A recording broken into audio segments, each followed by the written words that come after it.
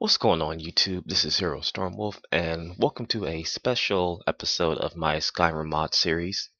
This time we're going to be talking about how exactly I install mods, more specifically the Skyrim Overhaul mod. First thing you need to do is go to the skyrim.nexusmods.com website, which is here right here as you can see. Sorry, I'm actually new to this, so cut me some slack here. First, you need to create an account. It's free, takes about 30 seconds. Second, you need to install Nexus Mod Manager. This is basically going to be where all your mods will be stored and saved at and will be installed automatically to your game. I'll install the latest version. Just click download, download now after you create an account. As you can see, it's down here. It takes about maybe 10-15 seconds to download depending on your internet speed. Select installation, select your language.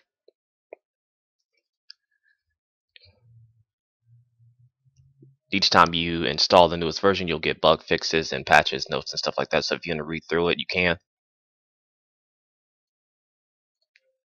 It is saved basically to your C drive or whatever you name your drive to the program files folder.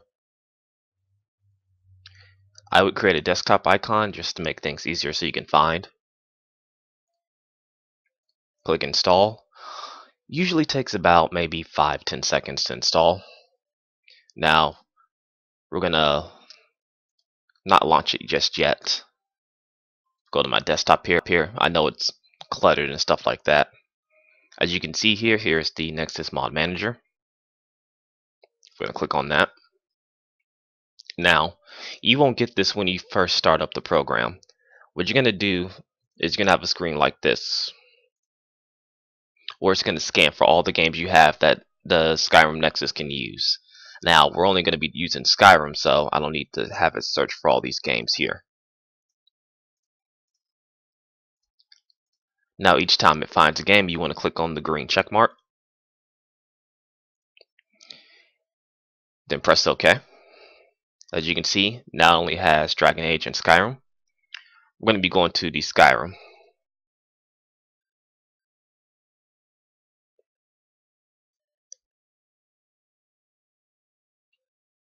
It takes a little longer to open up the actual program, especially when you install a newer version.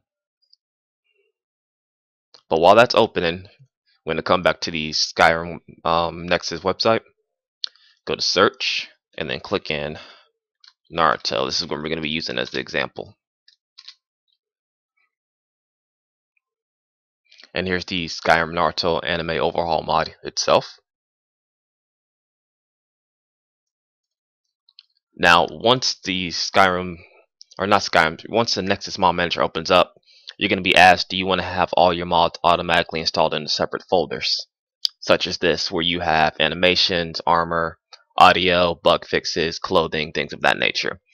I highly recommend this just in case you want to delete a mod so it's saved in a specific folder and to be a lot easier to find. So, as I said for this example, we're going to be using the Skyrim Naruto Anime Overhaul. Now, before you install any mod, I implore you to read the description. This will tell you if you need to use any other mods, if you need the latest version of Skyrim, if you need all the DLCs. Now, in particular for this mod right here, the Skyrim Naruto Anime Overhaul mod, you need to have all the DLC and be patched to the latest version of Skyrim. Here you can read a description of each of what the mod is, what's included in it, or any updates. Now, there's been no update to this mod since my last video, and I'll make another video about that separately. But for now, you want to go to Files, and usually the latest version of the mod will be at the top under Main Files. What you want to do next is click Download with Manager. And then this is for Google Chrome. It asks you, do you want to launch the application with uh, the, the Nexus Mod Manager? You want to launch the application. And when you go back to the Nexus Mod Manager, you'll see that the file is downloading below here. Depending on how large the file is, it will take usually between a minute, sometimes longer, Now for this, it's going to take a lot longer, but I already have it downloaded, so there's no reason for me to download it again. I'm just showing you the process. Then it will be under Magic slash Gameplay. As you can see here, it's installed. Now, once it's installed, you want to go to the plugins and make sure that it's listed here under plugins. Now, for this, I believe it is listed under, let's see, it's been a while since I've actually redone this. There we go. It'd be listed as a, under jutsu.esp. Now you want to make sure that's ticked. If that's not ticked, then the mod won't work. It will not load, and sometimes it will crash the desktop. So once you got it installed, and once you have the ESP file clicked, you're going to want to open Skyrim. We'll close out of this. We'll lower this, and then we'll open Skyrim.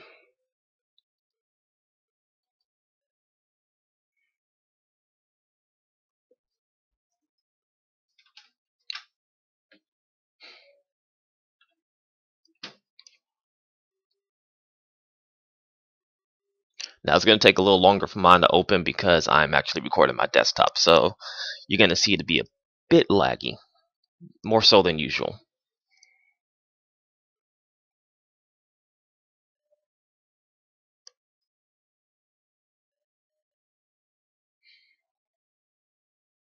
Go ahead and load a file. Okay, so now we're in the place that the mod should take place in, which is Riverwood. We're going to go over to the waterfall to where the Jutsu Masters are, just to show that the mod is indeed working.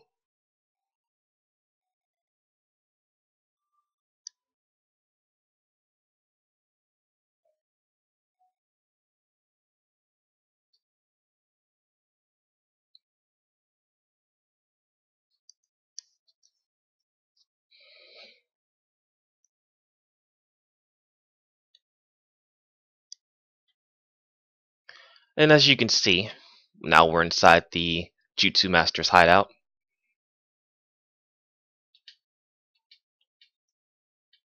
And now the mod should be completely working. Again, you need to have the latest version of Skyrim, as well as all the DLCs for this to work. Now, there are older versions of this mod to where you don't have to have those certain requirements, but I implore you to download the latest version because it has the latest fixes and it has um most of the spells as well so that way you don't have to worry about not having a certain spell or if you get a huge bug. But that's it for this episode of the Skyrim mod um, videos I've been doing. Not really an episode but more of just a video explaining how exactly I download mods and how exactly this mod in particular works. Catch you guys next time. Peace